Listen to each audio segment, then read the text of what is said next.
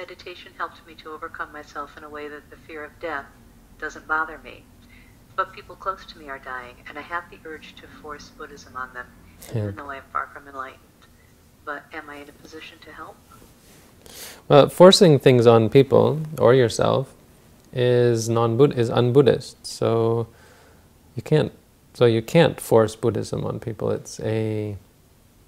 It's kind of oxymoronic or paradoxical. I don't know what you call it, but it's hypocritical, I suppose, or it's counterproductive. It's the word. You know, it's like forcing someone to let go. Let go. Let go.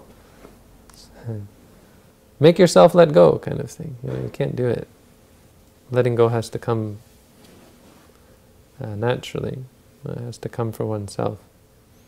So the best you can do is be an example for people.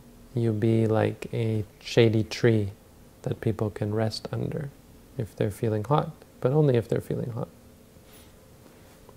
To come to it themselves. If they if they have questions and want answers, you can answer if you know the answer.